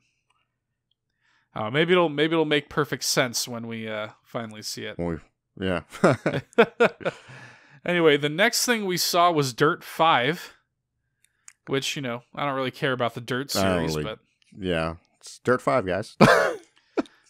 apparently, so, so something that they did say about this was that, so the Xbox Series X, you can have 4K resolution and uh, FPS up to 120.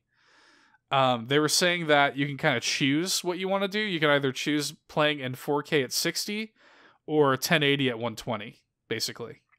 Shit, I probably do. T- I would technically do the 1080 uh, at 120. I would too personally if I had if I had the choice. Uh, you know, but I I don't know. I, I'm more of a performance guy than a graphics guy. So as long as the game runs well, I'm happy. Still, it's cool. I mean, 120 FPS is not something that's been possible on a console before. You Yeah. know, ever. So that that's pretty cool. Uh, we got a new kind of trailer for Scorn, which was I, I, I genuinely forgot about that game. I forgot about it too until we kind of started to look at it. It's like, oh, right. It's like, oh yeah, Scorn's a thing. No, just Fucking seeing art style of that game. Fuck. seeing that disturbing art style. It's disturbing as shit, dude. Yeah. The game itself disturbs me. I want to play it. I it was it was hilarious because this happened twice during this where I called out something that I that I, I mean- recognized. I mean, yeah, but it's like that's that's like really in your face though. Yeah, I was one. like I was like some HR Giger ass shit, and then I I saw the official Xbox Twitter account tweeted about it, and it was like uh taking inspiration from HR Giger. I was like, oh, all right. Eh, See, my my my thing is like, what? No way. No. Yeah, you don't say. It's a, that shocked Pikachu face, basically. yeah. Uh, so this was one of the ones that really stood out to me. Call of the Sea. Yeah, yeah, that definitely uh looked interesting. This was a really, really pretty, stylized, kind of looked like it was taking place in like the 1930s. Um, kind of like explore, kind of an exploration puzzle game on like a on like a deserted island, looking for Mm-hmm. her husband or something. And we saw this weird shot at the end of the trailer where it's Right first end. person, right at the end. Yeah. Underwater and you see like basically like a mermaid mer like merman hand. Yeah, you're you're swimming. It looks like, and yeah, the hands are finned. They have like Yeah. like webbed fingers. Well, dude, I actually I, I noticed something actually in the trailer. I don't know if you did too. Is the hand thing like to put your hand like it was like to activate something? Uh huh. That was weird looking too. Really, I didn't notice that. It, it wasn't a human hand. I mean, it was humanoid, but it technically wasn't a human hand. Interesting. And even the way she, I think the way she put it, it was almost in a kind of a webbed sort of way. So there, there's gonna be some weird shit going on with that game. I'm definitely intrigued by that game. I'm all about it. Looks really cool. But again, we like most of these games, we we don't really know much about it. We also learned about this game. I guess it's called Chorus. Eh, Which- it's not my cup of tea, but yeah. Not really my cup of tea either. Um, apparently, it's not coming until next year. I mean, it looks pretty. We can say that the game looks pretty. I mean, yeah, the game definitely looked pretty, but it's just it's a flight sim essentially. I don't know that it is a flight sim. It, to me, it looks more arcadey. To me, it looks like like a really pretty Star Fox, basically. Yeah, that's actually a good way to look at it. I don't look at it. It just didn't look like it was going for hyper realism. It seems like well, it seems like it's definitely gonna have a fucking story to it too. Yeah, they, they had one. like some like like protagonist. I wasn't really paying attention to what was going on. Then there was like a weird shot with some dude behind like fucking like weird glass or some shit.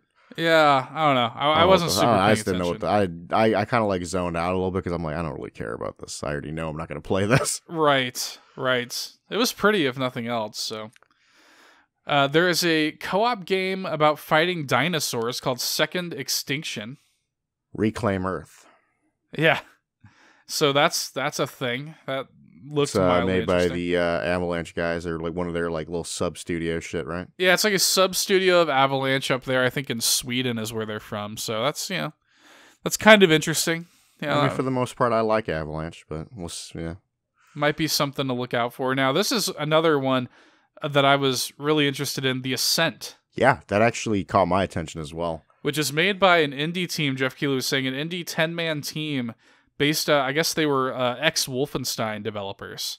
hmm They used to work at Machine Games, and it's like they're they're describing it. We we don't know much about it, but they're describing it as a cyberpunk RPG. hmm does have co-op confirmed and it's like a top-down like isometric shooter and uh i was i was telling you as you're watching i was like i just hope that this game has a loop good to loop. it it Yeah. needs a good loop it needs a gear loop it needs a skill loop or something you know what i mean Other than that, I man, it looked fun. It had my attention. i liked the world like i liked the the art and everything and I think I think just the idea of it is going to be cool because again, you're going to the upper levels where like the fucking the good people live. You know, right right start from the bottom. Now we're here. No.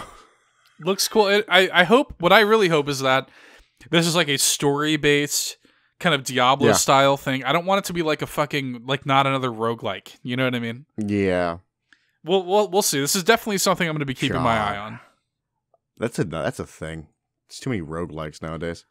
Yeah, yeah. I, I'm going to be keeping my eye on it. We'll see what Not happens. Not another roguelike. Yeah.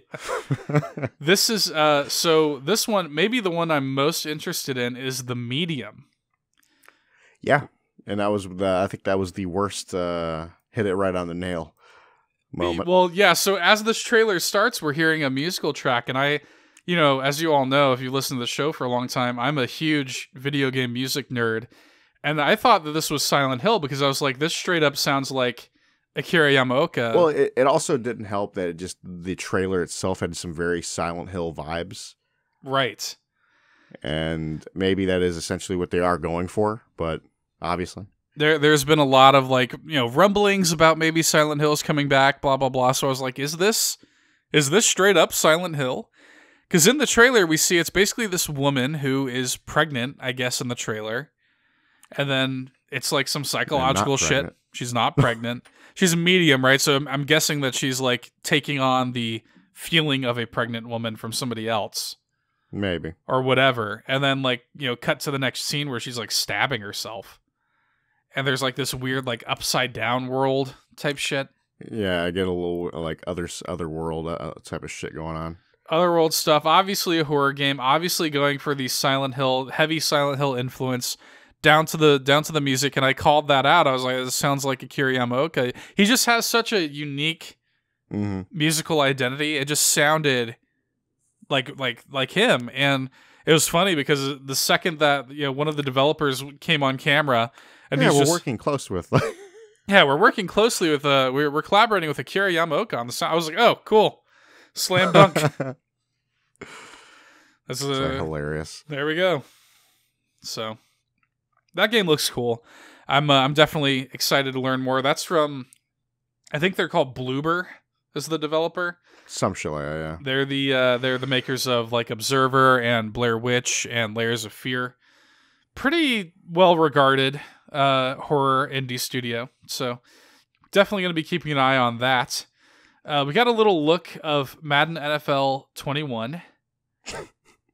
Uh, moving along. You're dumb. You're fucking dumbass. yeah so when this start that's funny we should talk about that when the when the trailer started apparently what happened is it was showing footage from previous madden games Dude, they started from like the original Madden, bro. I'm surprised you didn't even realize that. no i i straight up as soon as the trailer started i i cared so little that i was just looking at my phone and he started watching it again. It was like maybe like a Madden from like eight years ago, maybe. when i looked don't up know. i'm just like this looks like shit i was like is this i was like is this really what the game looks like on series x this looks like fucking shit I was like, th- there's no reason this game should look this bad. This is a sports game. These games should look real by this point. oh, And then finally, we get a little glimpse of what it actually looks like, and it well, I good. even told you, I'm like, no, they're just showing off old Maddens, bro. it's like, oh my bad. I didn't realize. uh, something I'm excited about. We got a little. Uh, we got a little trailer for Vampire the Masquerade Bloodlines 2, which has been kind of long in development. There's actually a pretty extensive, if you go on YouTube, there's like a 40 minute gameplay demo for this game. Oh, is it really? Damn. Yeah, that you can watch if you that came out like a year and change ago if you if you want to see some expansive gameplay for the game and and the trailer was cool. Uh, this it was not much to say other than that. I, I'm excited for this. It's it's looking stylish. It's looking sleek. Uh, I'm I'm looking forward to it. There's really not much to say. I really enjoyed the first Bloodlines, so you already know I got to do my Nosferatu playthrough. So, uh, Scarlet Nexus, a weeb game, Todd, from our friends over at Bandai Namco. A weeb game for you. We don't really know much about it. We just know that there are some brooding anime boys and girls, some uh, some futuristic katanas and like psionic powers and like weird flower plant enemies. Looked weird. The art style looks cool. I'll say that. But uh, but otherwise, I'm not super interested. How about you? Yeah. It's, it's weeby. That's about it. Scarlet Nexus doing anything for you? Not really. This was kind of cool. So, Yakuza like a dragon. I was like, what? Apparently, this is already out in Japan on PS4. Okay. Uh, it's it's kind of an RPG focused Yakuza game, and it's it's like super over the top. Like we saw like a giant like lobster at some point in the game, like fucking like laser beams and like really hardcore like particle effects. it, was it was really weird. It, it looked very over the top and interesting. I just wasn't sure. I was like, is this a Yakuza game or is this like something made by the? It was very clearly made by the Yakuza team. You can just kind of tell the yeah. visual the visuals of it, it it looked like a yakuza game and felt like a yakuza game but i didn't know if it actually would be and it is it's a straight up yakuza little spin-off game i guess and uh it's coming out for xbox one and series x i guess so looks cool i uh i like the yakuza games from the little bit that i've played so we're gonna so Microsoft is doing that smart delivery thing where it's talking about where if you buy a game on Xbox One, you're also going to have it on Series X. So Microsoft did detail the games that are supporting this. So Assassin's Creed Valhalla, which we'll talk about in a minute, uh, Call of the Sea, Chorus, Scarlet Nexus, Second Extinction, The Ascent, uh, Vampire the Masquerade Bloodlines 2, and Yakuza Like a Dragon will all be delivered uh, via smart delivery. So if you buy those games on Xbox One, you will still be entitled to the Series X version if you get one. So that's a thing. No word yet on if Sony is going to be doing this or not. Uh, Sony has confirmed that with Assassin's Creed Valhalla, if you buy it on PS4, you can get the PS5 upgrade for free. But they have not announced like an official program for this uh, coming into PS5's launch. So we don't really know anything about that. That's we don't really know a lot. yeah. Now, before we move on to the to the final topic of the show, I do want to talk for just a second about Microsoft's sort of strategy. This this is the first we've heard from Microsoft in a little while, and I just find it a little bit odd that they didn't come out with a swinging dick. You know what I mean? Like for me, I'm like, if you're wanting to introduce this new Xbox 2020 initiative, you, you kind of have to come out swinging. And I don't feel like this was it. You know, yeah. this didn't really do all I- that much. I I was left like pretty disappointed. it didn't really do all that much for me. I would have liked to see some Halo or, or something. And even the even the whole big thing was, oh, you're gonna see Assassin's Creed Valhalla gameplay, and we didn't even really get that. Yeah, that that was weird to me. How this is a weird strategy to me. I, and, and you know, I was talking with Dan about this the other day, where uh, I was like, you know, for for Microsoft's part, you have two different camps, right? Where with Sony, they have a lot to be worried about with Microsoft hmm because Microsoft has like they they've, they've been saying even here even during this event they're like oh we have 15 you know studios working hard on Xbox Series X exclusives and we're going to be talking about that in July. And you got to imagine Sony's scared of that. But at the same time what we have to consider Todd is that these are new IP and so they have more to prove these new IP coming out, like, are we really going to give a shit? Of course, they're going to care about Halo. Of course, they're going to care, about like Hellblade 2 and stuff like that. But all these other studios that are just kind of going to be making like brand new IP for Series X, they've got a lot to prove to us. And Sony's studios just don't really have to do that. Like, Mm. Sony has all these baked in. If Sony releases PS5 and they've got a new Ratchet ready, if they have Horizon 2 ready, they've already got a better launch than Microsoft could possibly have. You know what I mean? So uh, th- that's kind of interesting to me that Microsoft has to kind of grow their brand in a way that Sony doesn't.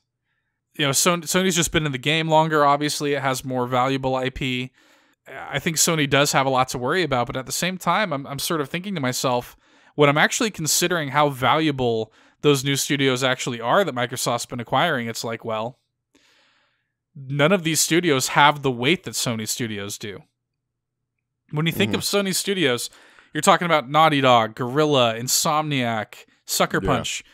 These are all studios that are like 20 plus years in the game Yeah. and have like storied histories and stuff like that. And Microsoft basically has like Halo and Gears as legacy IP, and the rest is all Mhm. brand new shit. Yeah. They, they shit canned Fable. I don't know. There, there, there's just not a lot uh, going on, like with with with legacy IP coming out of Microsoft, and that worries me. There have been rumors, of course, of Fable 4 being a thing. We'll see about that, but I just feel like they just kind of have Halo. We're not going to be getting Gear 6 anytime soon, you know? So Yeah. That's some real shit. I'm a little bit worried about that with with Microsoft. I, I feel like, and of course Sony, you know, they're kind of blowing their load. Sucker Punches and Naughty Dog are both coming up to bat right now. Yeah, they're probably going to have Horizon ready for, if not at launch, for launch window, and I'm sure next year we're going to get Spider-Man 2. But I don't know, man. We're just going to have to see. Yep. Anyway, th- this this would never have been a problem if Microsoft just uh, doubled down on Blinx the Time Sweeper. Uh, you remember that shit? I do. I was thinking about Blinx the Time Sweeper. I I, I remember talking with Dan like fucking like 10 years ago where Dan was like, "How come Microsoft never had like a fucking a furry mascot basically?" They tried. yeah. Nintendo's got their little mascot with Mario and Holy shit! I forgot about the time sweeper. I'm looking at him right now. and and Dude, they re- they went for like this Cheshire, like Cheshire, like cat sort of look. He has a weird with him. design. I actually enjoyed that game.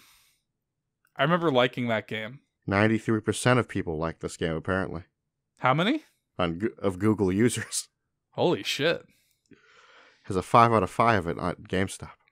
Really? A seventy one percent Metacritic. It didn't re- I'm looking at the review spread here on uh on its Wikipedia page. It didn't review that bad. I liked the game. It just I almost feel like if if Microsoft had doubled down on Blinx like I'm I, I said that facetiously a second ago. but now you kind gotta mean it. But Blinx could have been, you know, Blinx the time sweet more like Blinx the time savior, Todd. I'm even looking. Literally, there is a section on Blinx's Wikipedia. Here's the Blinx tangent here. Uh, literally on on it's a tangent I didn't ask for, but yes, continue. even on the Wikipedia page, Blinx as a mascot. GameSpy suggests that Blinx was proposed as a possible mascot for the Xbox system, rivaling Nintendo's Mario, Sega's Sonic the Hedgehog, and Sony's Crash Bandicoot. And since the main character of Halo Combat Evolved was considered too violent, and the officials wanted a friendly, furry face to lead the sales among a younger clientele. Due to the game's unpopularity, it never achieved the suggested goal, and Master Chief is unofficially seen as the Xbox mascot, though Blinx was in fact proposed uh, as the mascot for the Xbox in Japan for a while. Blinx could have been something, man. Blinx Blinx could have Wow. had it all. you know what? It belongs to Master Chief now. I want to end the show, Todd, by talking about what is probably my most anticipated game of the year thus far, and that is Assassin's Creed Valhalla. Mm, Serenade me with with beautiful things. Last week we talked about it. it was properly revealed last week, but we didn't really get any concrete details on the game. We got like that first trailer, but that was about it. Yeah. Now we've seen gameplay or their their What? shitty idea of gameplay. Gameplay. Yeah. Yeah, that, that Was that not just a cinematic trailer? No. it was they they s- oh in engine footage. Oh, Sorry, go guys. Fuck yourself. That does nothing for me. In engine footage. That's horse shit. It is horse shit. I wanted to I see an need to actual demo. Legitimate gameplay. That's what I wanted to see, honestly. I wanted to see actual gameplay. I wanted to see a demo. you. I wanted to see somebody playing the game for like 10 minutes. But anyway, we do know some more details about Assassin's Creed that, that just have me even more excited, and I want to go over some of it. Uh, I want I want you to be as excited about this game as I am, Todd. Let me let me see if I can amp you up to my levels here. So there are over a dozen Ubisoft studios that are contributing to this game, but it is Mm. primarily being made by. I, I'm going to go. I apologize. I'm going to go with Ashraf Ismail. Uh, I hope I'm not mispronouncing that too bad.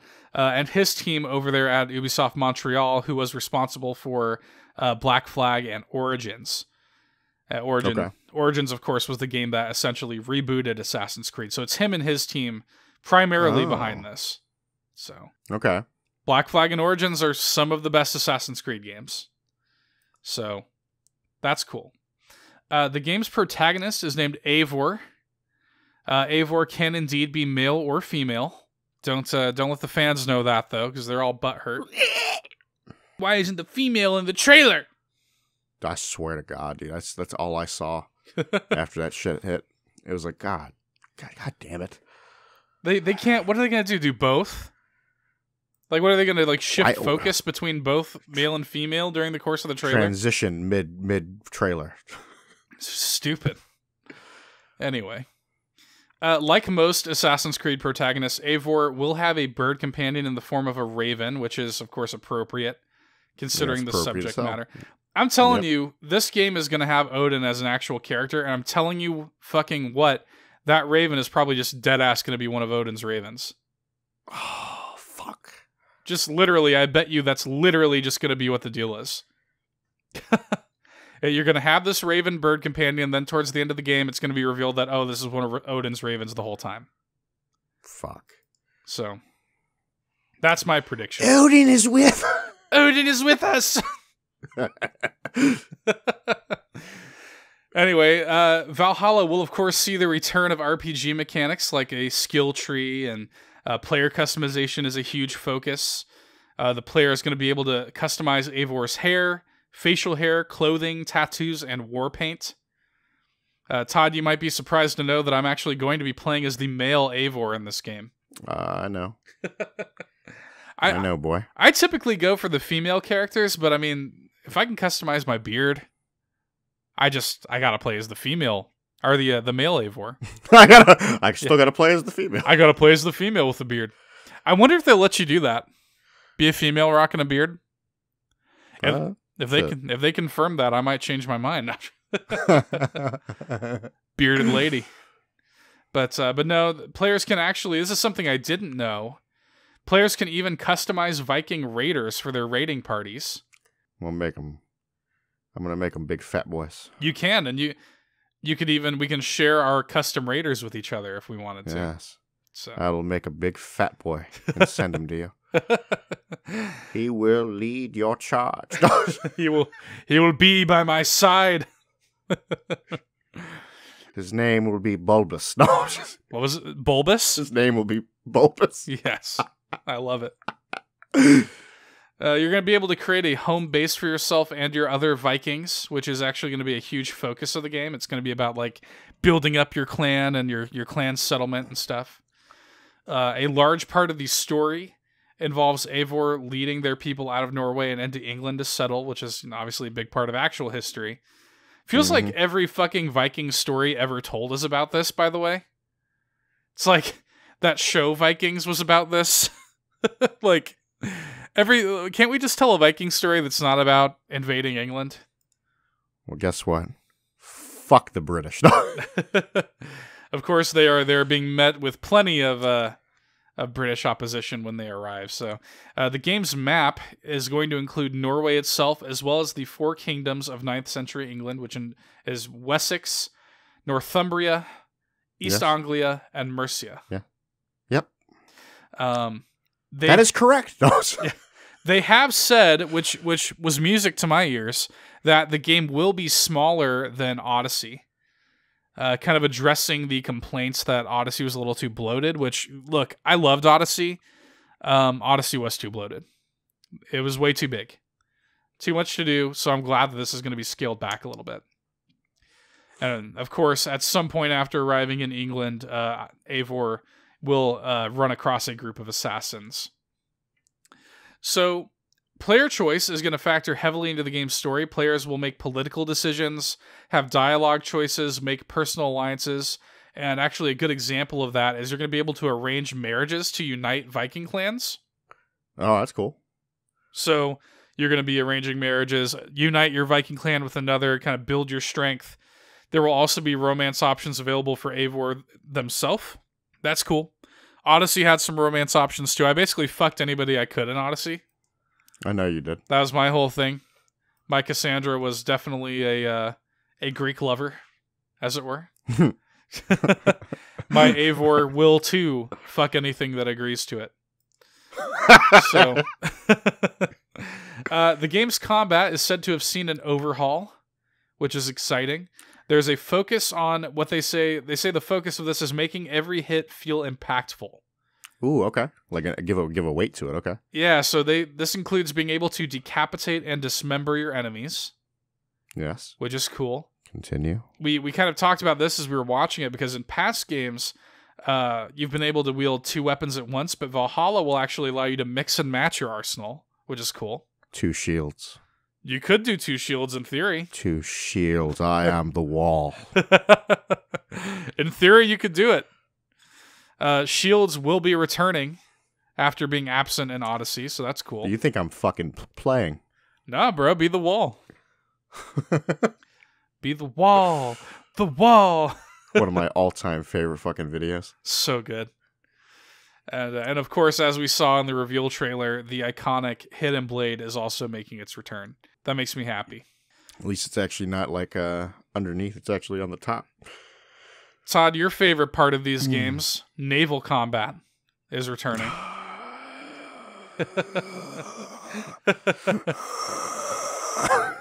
you you are in the minority in that. Most people enjoy the naval stuff in these I games. fucking hate it. I hate it. I fucking hate it with a passion. I really like it. You're a bitch. I mean, I'm wondering how how much it's going to change. This is the team that actually literally created the naval combat with Black Flag, so I mean, I guess three had it, but th- they really kind of perfected it with Black Flag.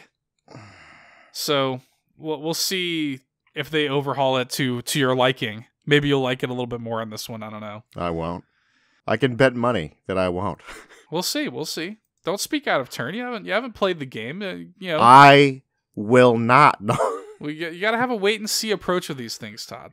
Maybe you'll enjoy your Viking longship and your raids and shit like that. I'll enjoy the raiding aspect when I hit the ground. Yeah, apparently that's going to be a thing. You'll you'll be, you know, doing your naval traversal, you'll be able to spot fortresses from afar and set up a large-scale raid on these fortresses Good. whenever you want. Good. In terms of open world activities, you can go hunting, you can do fishing. Uh, there are dice and drinking games, but most importantly, Todd, this this we need to stop and talk about this because this was what really shot this game's hype into the stratosphere for me. The player will be able to engage in the competitive sport of flyting or Viking rap battles. yes. Yes. Yes. Yes. Yes. Dude, I'm, I'm so fucking excited for that. Are you kidding me? I can have a Viking rap battle. I went down the rabbit hole, by the way, of flyting. bet you did. I was always familiar somewhat with the term, but I didn't realize that. No, seriously, Vikings invented rap battles, you guys. that's that's some real shit. Flyting is a ritualistic, poetic exchange of insults that Vikings practiced between the 5th and 16th centuries. Early examples are, are in like Norse and Celtic culture. And they wrote like stories about like the, most famous one is like Loki insulting the other gods. Mm-hmm. um, and actually engages in a in a fighting match against Thor. I'm just like, dude, like this is so fucking cool. I think fighting actually means to quarrel. So we're gonna get into fucking. We're gonna be MC Eivor, dude. We're gonna get into fucking Viking rap battles. They're gonna play us a beat. Oh, I'm so no, that's gonna be good. I'm so excited. I hope that there's an entire Viking rap battle chain. I want to build my Viking rap career in this game. I want to be known across the world of this game for my like legendary flyting skills. That's little Eivor, No. Yeah, Little Eivor. I want them to. I want people to challenge me to rap battles. Like I want to be going around like I want it to be like fucking like uh like Shadow of Mordor. Where you're going around and you encounter somebody that you fucking beat in a rap battle. Like, you remember me? Asshole Dude, face. I tell you that I I fucking love that shit in, in that game. so good. Like, dude, the, the motherfuckers that have come back like twenty times from the death, from you know, from like you've killed them like twenty fucking times. They got like, iron plates in their head and shit. It's like, it's like, how many times I gotta teach you this lesson, old man? yeah. I want that, but with the rap battle system. That's what I want. I feel that. I want them to come after me and they just want to rap battle me again and again. How do you think that's going to work mechanically? I don't know. Maybe it's gonna be like uh dialogue options that you gotta like have a timed response to it.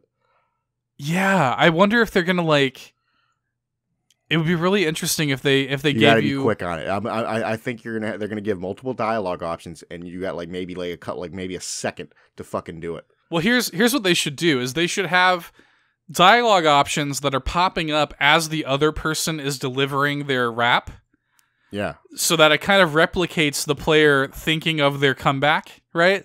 Mm-hmm. So dialogue options are popping up and maybe you kind of build a rap with that. Okay, I like that. Yeah, it's gotta it's it's gotta be quick though. You gotta actually have to like be on your toes with it. I think You- that'd be you- the, the only way it could work. There's going to be I, you should have like a timer that is ticking down so that you know how long this person's going to be rapping for. And as the opponent is rapping, you're constructing your comeback. And you have until the end of their verse to respond with your own verse. Oh man, that'd be so fucking cool. I would play an entire game just of this, by the way. Straight up, I would play an entire game that was just about being a Viking rap battle lord. That's all I want. Uh, that that right there. When I learned about that, I was already hyped for the game. But when I learned that I'm going to be able to fucking rap battle, It was it became stratospheric. Todd, the hype, stratospheric. I hope there's a trophy related to it too. By the way. Oh my god, I'm so pumped for this Achievement game. trophy would just better just be called MC Eivor. yeah. Holy moly, I can't wait. Uh, anyway, we don't have a firm release date for this game yet, but it is releasing this holiday on current gen consoles as well as next gen consoles and Stadia. Remember Stadia? What is that? That's a thing. Stadia. I feel like I've, I've heard of that before. Like I said, uh, the game is going to be a part of the Smart Delivery Initiative. And again, PlayStation has also confirmed that if you own it on PS4, you can upgrade to the PS5 copy for free. I'm honestly just going to wait. To, to be real, like I'm just gonna wait until I have my PS5. That's- yeah, that's where I'm at. I'm actually gonna do the same. It's probably not going to be that big of a time difference anyway. These games typically come out in like late October, early November, and that's probably about when the PS5 is going to come out anyway. So I'll just Yeah. wait and have a good launch game on my PS5. R- real shit. We don't know what the PS5's launch details are yet. We probably won't until later on, but uh but I'm just gonna I'm honestly just gonna twiddle my thumbs and hold off. And when I get my PS5 home, I will literally head straight to the store and download my copy of uh, Valhalla, and that'll be my launch game. It'll be my savior in the PS5's launch, just as Black Flag was for the PS4's launch.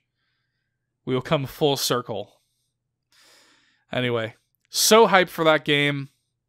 Where's your hype level at? Where, where does that compare with the other games that we know about this year? Uh, it's probably one of my more hype games. Probably uh I don't even know like what else I'm hyped for. So yeah, it is probably my most hyped game. oh no, Ghost of Tsushima. Oh yeah, yeah. It- you know, this is some real shit. As the Xbox presentation was starting and they were talking about, oh, it's all third parties, I was like, oh, maybe we'll see Elden Ring. Nope. Yeah. They teased me with they teased me with a splash page of uh developers. Yeah, they did say like, oh, these are all the developers making Xbox games, and From was on there, of course, and like we know that Elden Ring is a thing, we just haven't seen anything from it, and you gotta assume Other that the than- game is far along. Other than that fucking asinine nothing of a teaser.